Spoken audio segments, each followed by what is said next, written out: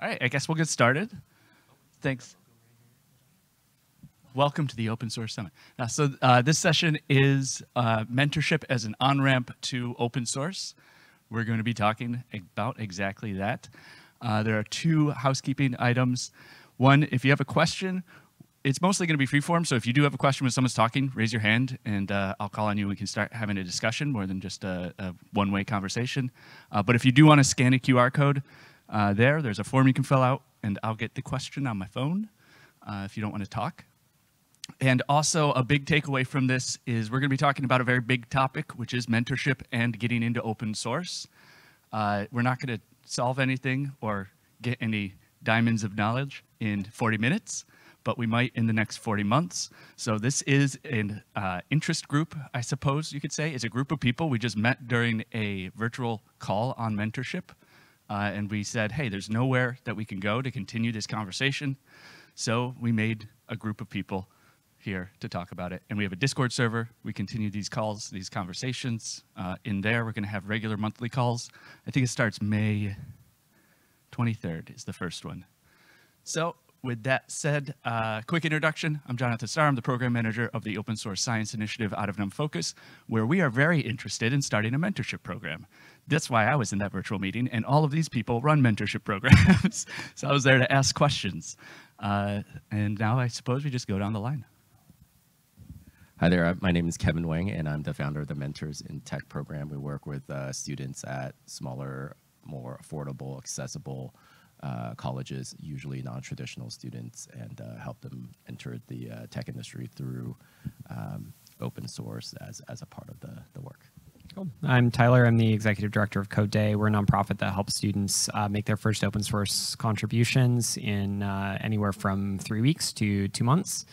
Um, we match them up with a mentor and we match them up with an open source project. And uh, we've had about a thousand pull requests merged to date. So um, that's us.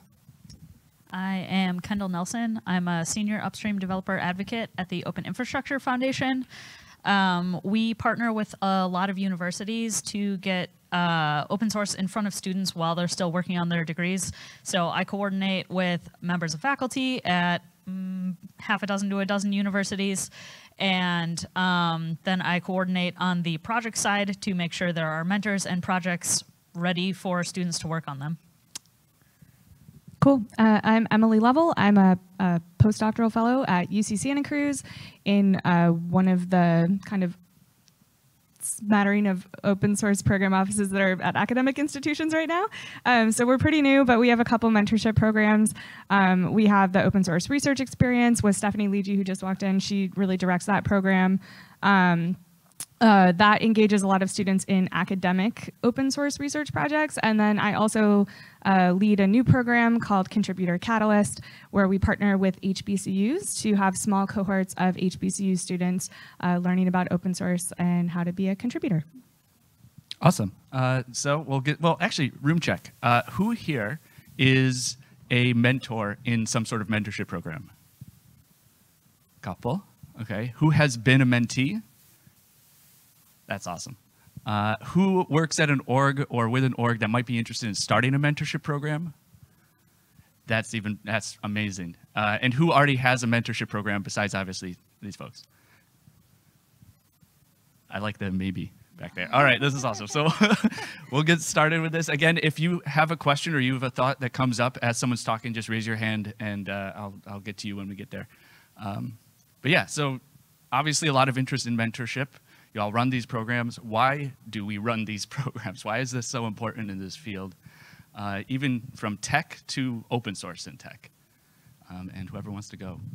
So I think one of the one of the really big things is that uh, for from the student perspective, uh, students have gone through for you know many, many years of their life having a professor who sort of tells them what to do and having a textbook that all the answers are there and you take tests and you're supposed to know the answers to everything. And open source is an amazing opportunity for students um, to make a real contribution and actually sort of learn the practice of engineering versus just all of the individual skills. Um, so we've seen that the students have gotten a, a ton out of it and uh, helps make them a lot more work ready. Anyone else?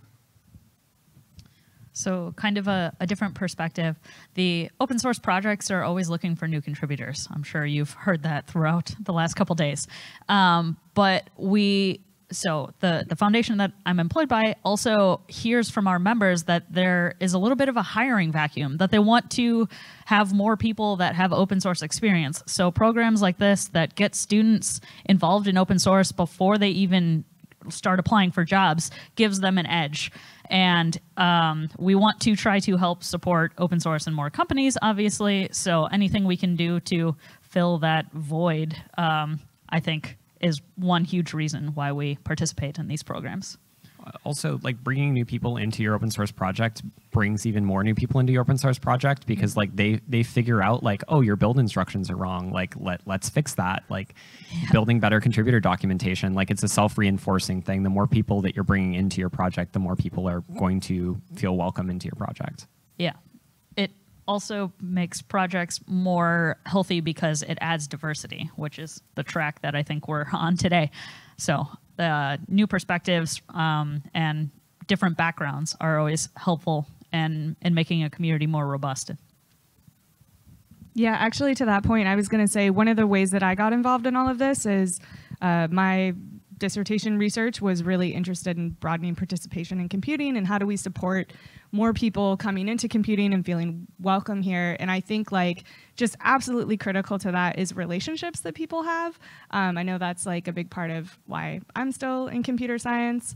Um, so I think that it's really powerful to have these programs where students can build, or contributors of any kind can build relationships with peers that are maybe also going through a program, um, with like mentors who are teaching them like how to open source, um, and then also with other community members who are just organically in a project. I think that's like such a profound thing for uh, for newcomers to experience, especially. And we work specifically with the non-PhD granting institutions because I think just sort of where open source comes from, like BSD and things like that. There's usually kind of like a focus on R1 schools, but there's so many now. There's so many students graduating out of non-PhD granting institutions with CS degrees, and the open source community is kind of missing like a third of, or you know, anywhere from a third to a half of all new CS grads. And so it's important for us to have uh, them get some exposure to open source, like Tyler said, and create a win-win situation for the students who uh, can be exposed to real software engineering skills, uh, doing doing builds, you know, failing lots and lots of automated tests and things like that, and kind of you know go through code reviews with real engineers, and build those software engineering muscles in a real world situation that they otherwise would not get. But at the same time, um, the, they get to see what open source is uh, because most of the students only see the big tech companies out there and they usually have not heard of open source. So it's, you know, creating these kind of win-win situations I think is crucial to, uh, to, to both for the health of the open source community as well as the just, you know, embracing the new students and the different types of students that are coming into computer science as a, as a field. So keeping both ecosystems healthy is really important. I think that's a really good point. It speaks to like the the tech aspect of it, learn a skill, learn how to use GitHub, and then the community aspect that we were also talking about. The has anyone had that experience? Does everyone remember that first experience in open source where you're, you're, like, this is this is a little awkward. Like you have a fight with someone online and you just don't know, is this how the entire thing happens? And uh, yeah, so having a mentor in that experience is probably very useful. I did not in mine, so I was I just had to fight through it and decide, hey, I like open source, so I'm sticking around. But if you have someone you can go to and be like, hey, what what's this, and they kind of walk you through that awkward experience, that's very helpful. Um, I guess maybe let's let's dig into that cohort aspect where you have maybe a mentor and you have some peers. You you go through a, a class graduation, I suppose would be a way to think about it.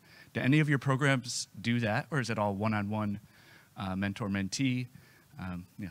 Yeah, so we have industry mentors um, who are in real life, like usually software engin uh, engineering managers run the student teams. So there is a buffer between open source, like anonymous people they see on the screen in open source and, and what they're getting. So, you know, just in case they, you know, uh, someone gets an email that's like Linus's email from 15 years ago. Like there's some of it was like, okay, this is kind of, uh, you know, this is how you should respond to it. This is, you know, how we, we do want to protect our students a little bit because you don't know who you're going to get in various uh, uh, various projects. But I think, uh, you know, now I think things are a lot more mellower. So I think that's, you know, way we see 15 years ago doesn't happen. But still, like, you know, people figuring out how to even go through a code review, how to ask something, or figure out how to ask something in the right way, or how to respond to something. So there's a lot of these things that as a software engineer that you need to communicate and also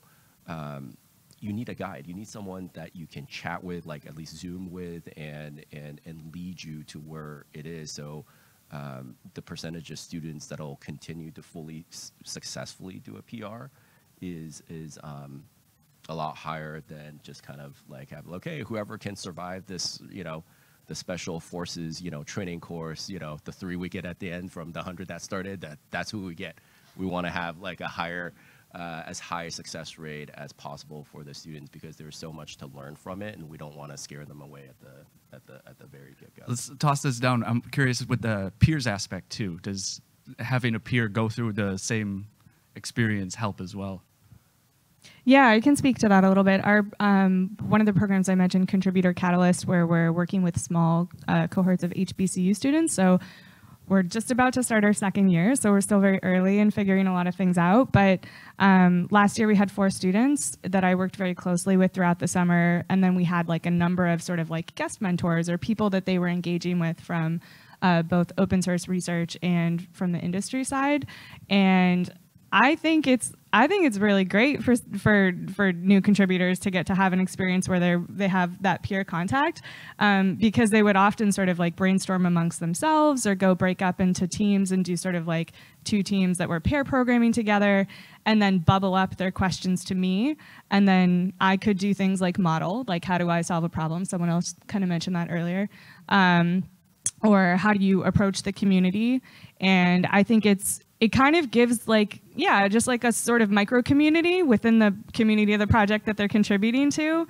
So like at the beginning you know one example i use frequently when i'm teaching or working with students is at the start they'll often be working together to write like that first slack message to someone in the community and be really nervous like oh emily can you like read over this message? Like we think this person is in charge of this thing and you know, we really want to see if they'll give us five minutes. And then by the end of our time working together, they're just like off flourishing, like solving things and having their own debates in the community about like why this bug that's three years old should be like opened up so that they can actually try and fix it. Um, so yeah, I think that's really cool. And then another thing we're trying out uh, as we grow our program is bringing back alumni mentors. And I, I think some of you can also speak to that. Um, that it can be really cool to have people return to your program who've gone through it and really have like a common experience with the participants who are coming into it. So it's also about like building a larger community of people that are giving back and nurturing the next the next generation. One interesting thing too is like what even is a peer, right? I, uh, the way that we have our program structured, every month we have uh, 30 to 60 students who are starting making their first uh, open source contribution. We do teams of two to four students and one mentor the mentors we pick, we we specifically pick mentors who don't know that much about their open source project. Uh, we don't want people who are experts. We want the mentors to actually kind of be like not exactly a peer, but like pretty close, right? Like they don't know what they're doing either, and that actually gives them the opportunity to, as as Emily just mentioned, like model that behavior of like here's what I do when I don't know how to solve a problem. So we we kind of think of the mentors as as something kind of analogous to a peer as well, and you know we have a group of two students, one mentor. And week one, the students feel like, man, I, I don't know anything. I don't know what's going on. Either this class sucks or, you know, or, uh, or I suck. And then week two, they meet with their mentor and then it's like, well, the mentor actually feels exactly the same way. And that, that's super valuable.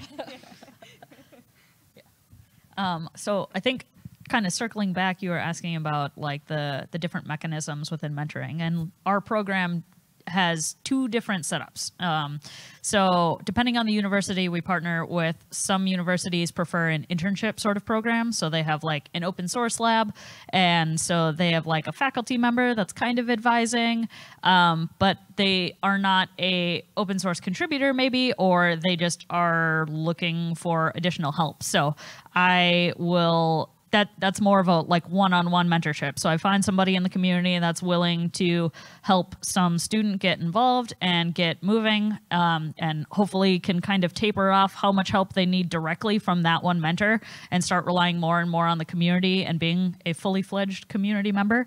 Um, but then the other mechanism that um, we see a lot is like a group of students that are working together, but also working with one or maybe two mentors uh, within the community to get going. And then that is often really valuable to mentors because they know that the students can work together before they come to the mentor. So I am always continually worried about my mentors and burning them out. So whenever I can like rotate them through these kinds of programs to kind of balance the load and continually check in with my mentors, I definitely make sure to do that because um, mentoring is it's it's an investment, but it's a really valuable one. I'm saving a money question for later because I don't want to go.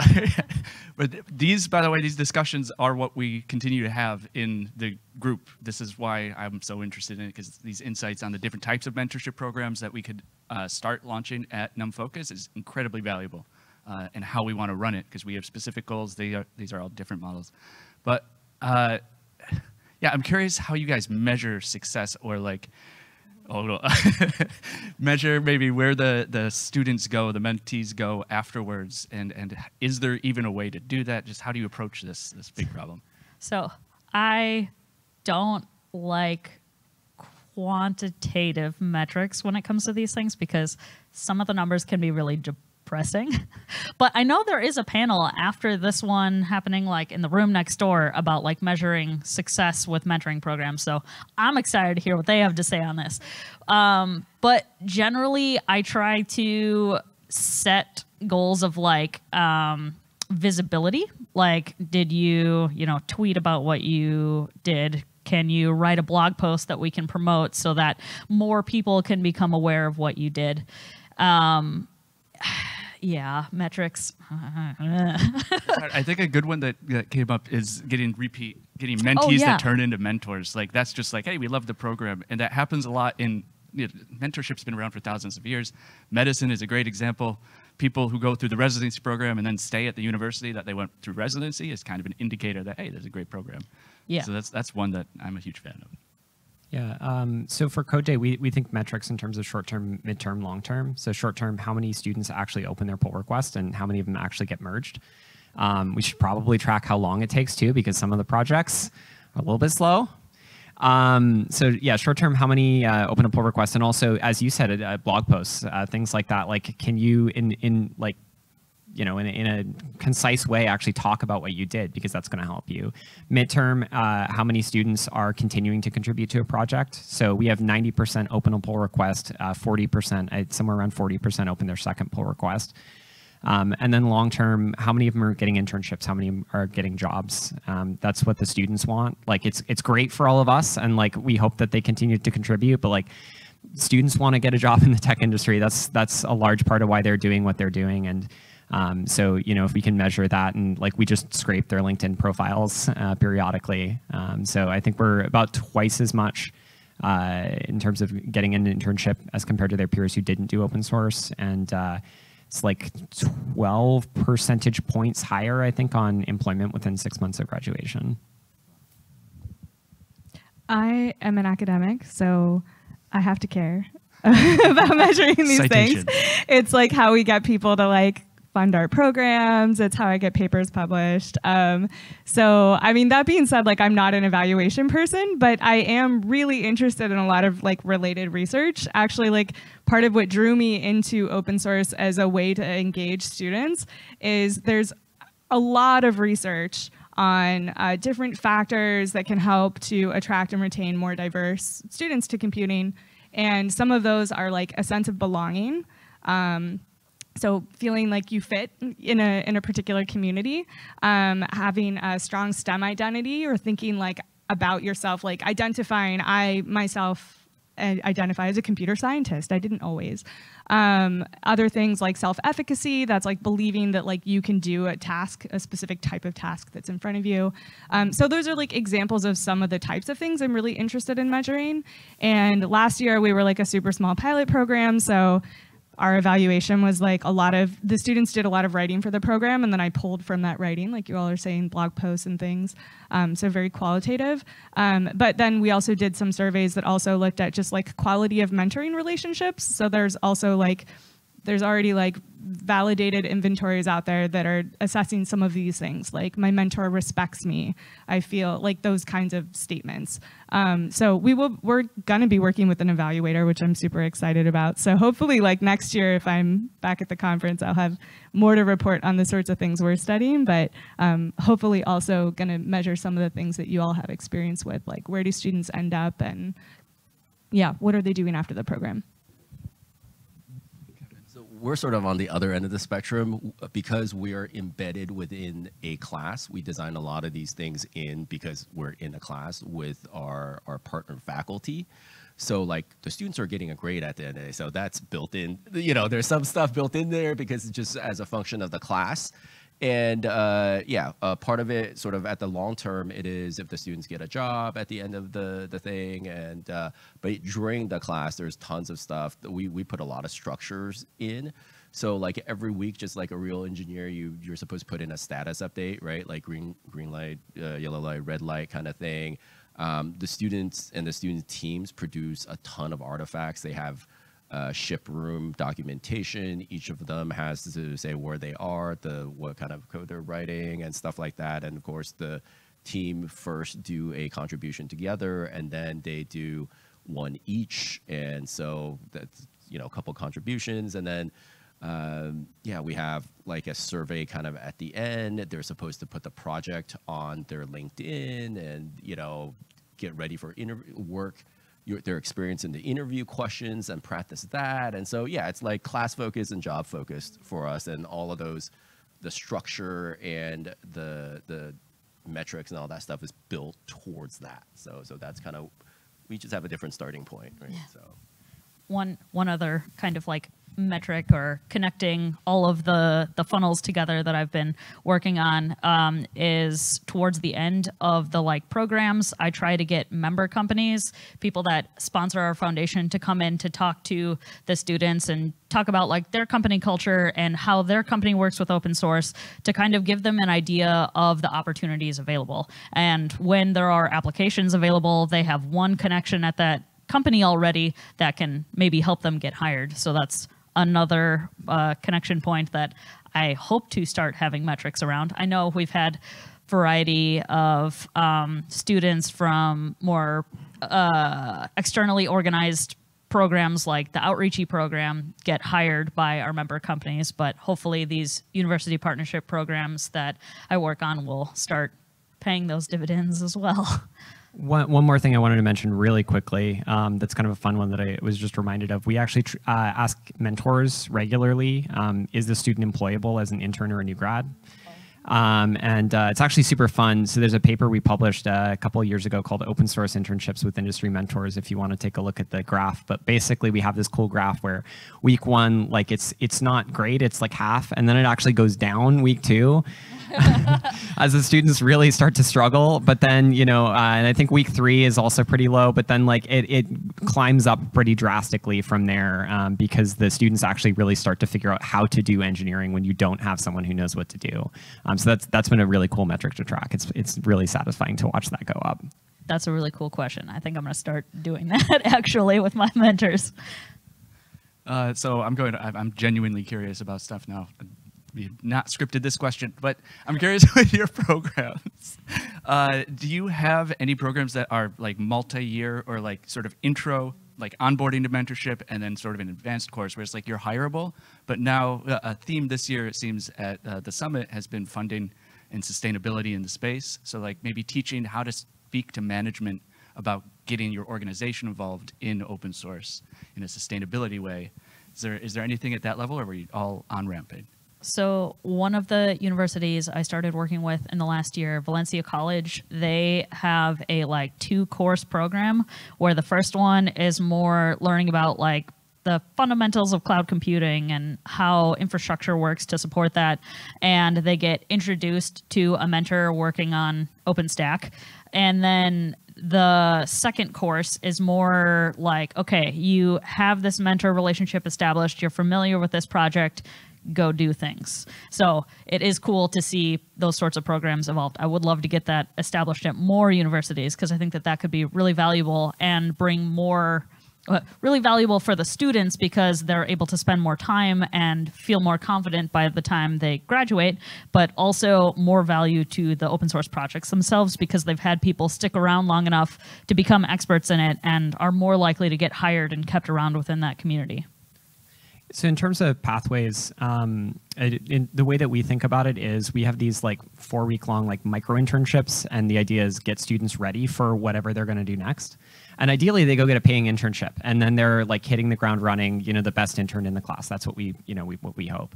And if they don't we also have a summer program that's a little bit longer where they can sort of dive into things a little bit more. And you know again like we're thinking of it in terms of building up on those skills.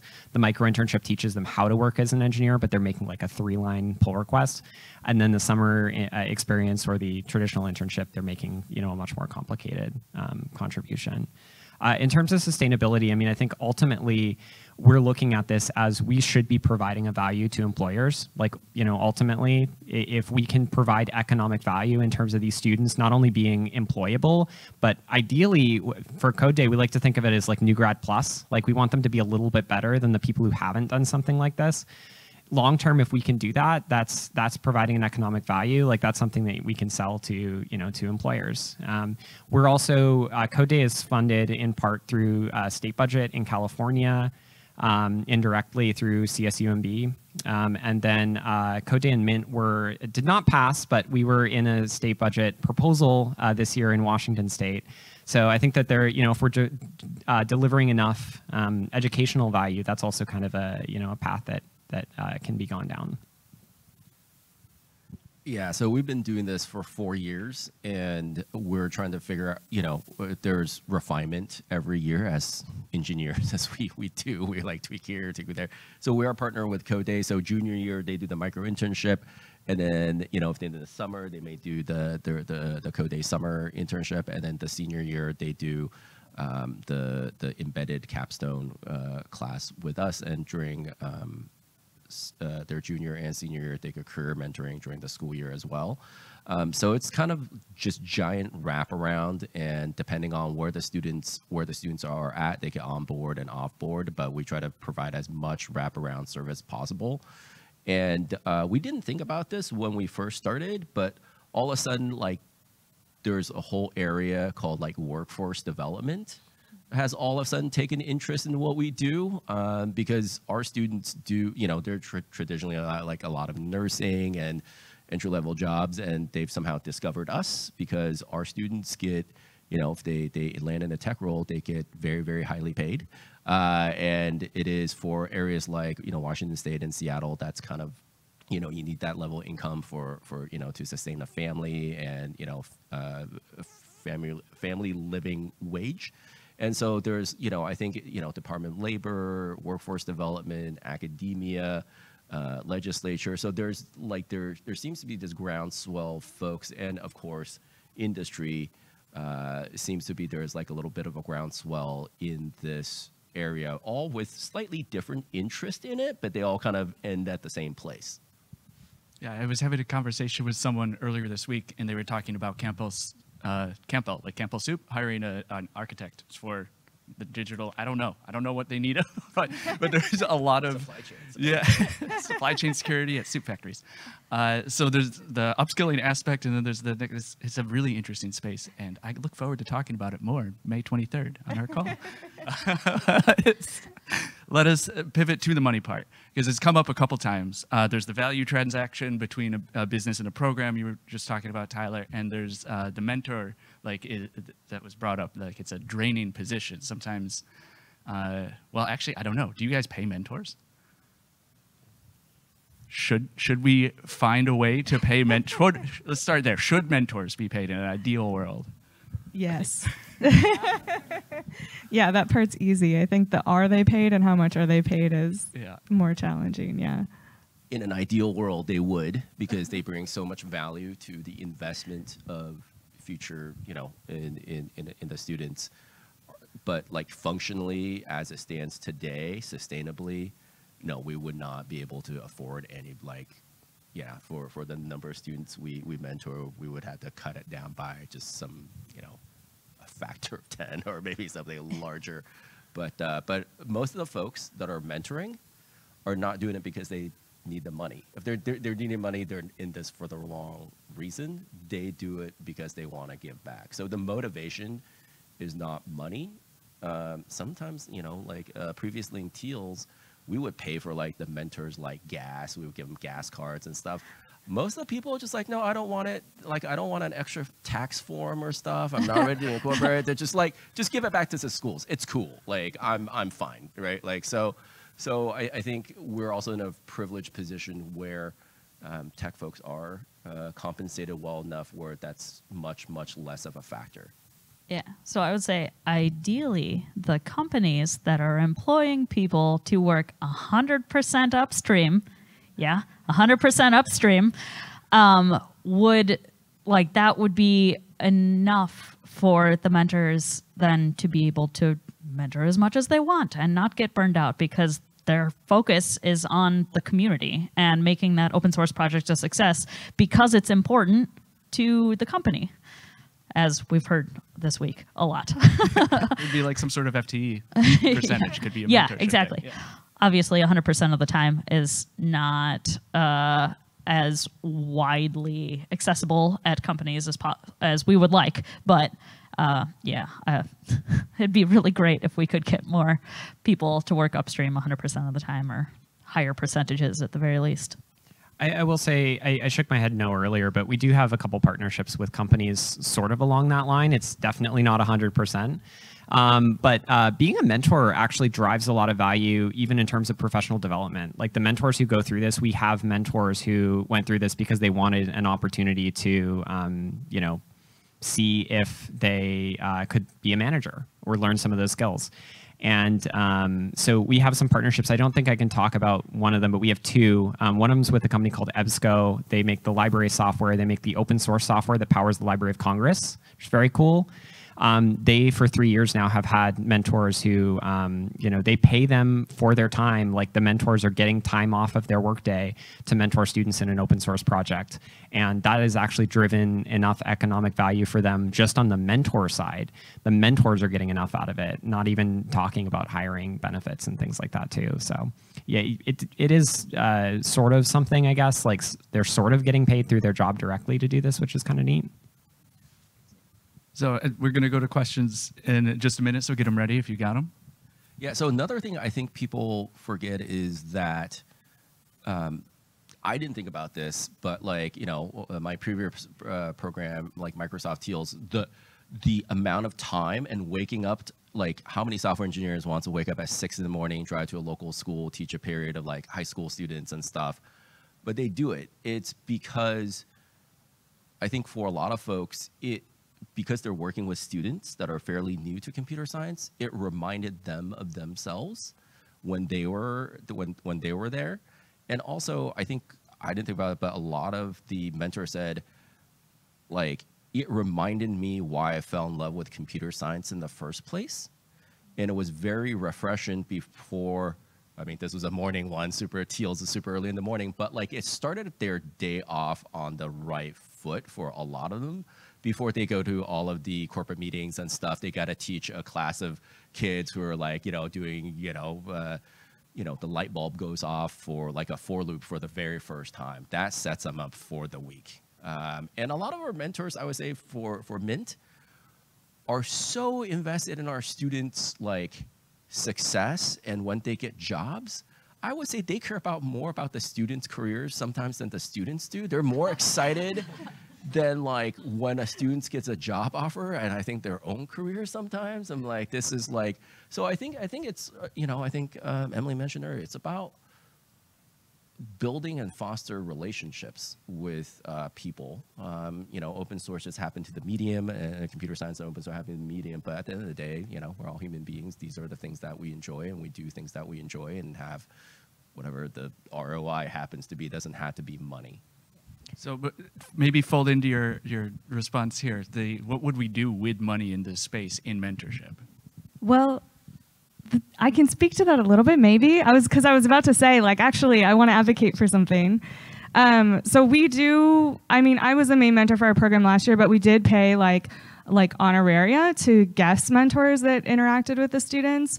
Um, we also are a mentor org for Google Summer of Code. Shout out to Stephanie Taylor who's sitting over here. We uh, Google Summer of Code also does pay mentors. Um, so that is there are people out there who are doing that. Um, the the thing that I was going to highlight is.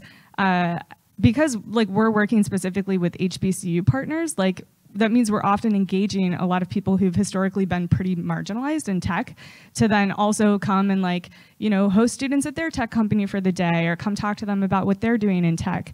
Um, and as we started to design the program we were fortunate enough to have the funding to advocate for certain things and it was important to me that we compensate the, those people who are spending the time i think that uh, people who've been minoritized are often asked to do additional labor to help address that problem in tech. And so I think, yeah, it's just been really important to me on a personal level to like pay those people, advocate for the funding to pay those people. And I've seen the impact it has on the students when they've incidentally learned that those people were getting paid. They were like, whoa, like, that's really cool that you're valuing people's time that way. So I think if there was like more resources, it would be like, yeah, pay all the mentors, pay the people who are supporting the students. Like that's like a really big deal, even if they're people that are making livable salary. I would add to that more infrastructure stuff like this, because again, these are four different mentorship programs. There's so many more in the space, and we need to stay connected because we learn from each other. And like NumFOCUS wants to start our mentorship program, is going to be a completely different animal, but we're going to learn from all this. We're going to give back to that community as well, and we we need resources to stand up that type of social infrastructure. Uh, with that, do we have any questions?